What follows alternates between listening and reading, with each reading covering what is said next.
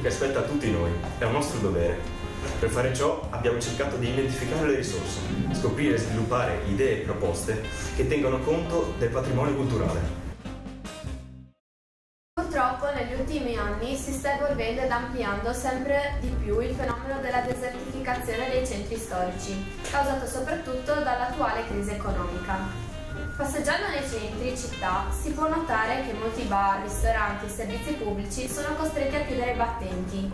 Continuando di questo passo, i bellissimi centri storici delle città italiane sembreranno delle città fantasma. Questo fenomeno è determinato anche dall'indifferenza dei giovani d'oggi, i quali preferiscono passare le loro giornate nei centri commerciali invece di visitare palazzi, musei, giardini o semplicemente passeggiare per le vie del centro ed ammirare le magnifiche opere architettoniche che tutti noi possediamo.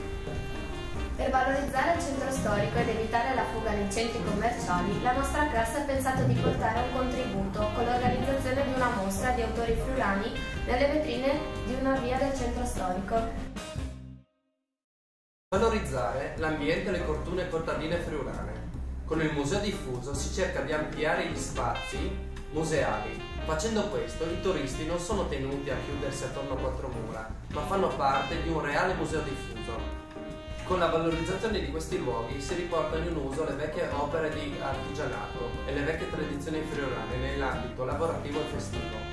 Questo percorso è essenziale sia per le vecchie generazioni sia per quelle nuove.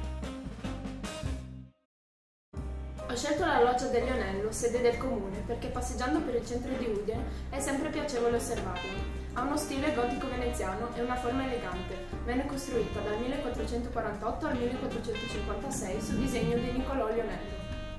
Ho realizzato un portafoto che rappresenta la loggia del Lionello, tra le colonne della quale sarà possibile, per esempio, inserire le fotoricordo di una coppia che ha pensato di celebrare il proprio matrimonio in questo storico palazzo. Altri potenziali clienti saranno turisti e visitatori. Il Friuli è una regione completa, abbiamo montagne, pianure e mare. Le Alpi lasciano sempre un loro ricordo con gli splendidi paesaggi e il loro buonissimo profumo. Quindi ho pensato di creare un cubo in legno che contenga l'essenza di un albero friulano, realizzato in collaborazione con Lorenzo Dante Ferro, maestro profumiere friulano, in modo da ricordare i parchi del Friuli attraverso la forma, il legno e l'essenza di un albero monumentale di un parco.